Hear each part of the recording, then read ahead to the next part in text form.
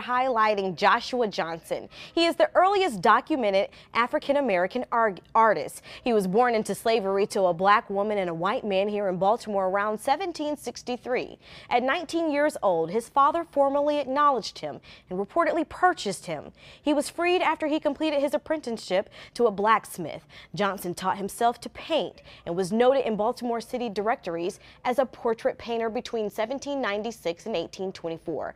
Johnson's paintings are rare and are included in prominent collections of the National Art Gallery of Art and the Smithsonian Museum of American Art, as well as others. Despite the circumstances he was born into, he went on to become a legend whose work is still being honored today. That's your daily Baltimore Black History Fact. Reporting from the Live Desk, I'm Megan Rivers.